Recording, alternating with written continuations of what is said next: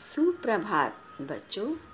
पिछली कक्षा में हमने भाषा का वर्णन किया था। आज हम दूसरे चरण पे आते हैं, लिपि।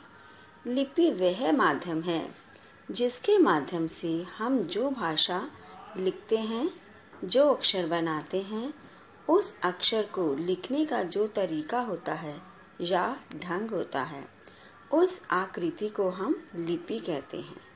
अलग अलग भाषा की अलग अलग लिपि होती है।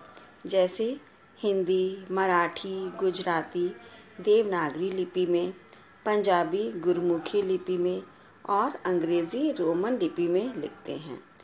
बच्चों, आज हम आपको पढ़ाई के पाठ के अनुसार कुछ गृह कार्य दे रहे हैं। आप उसको करने की कोशिश करिएगा। धन्यवाद।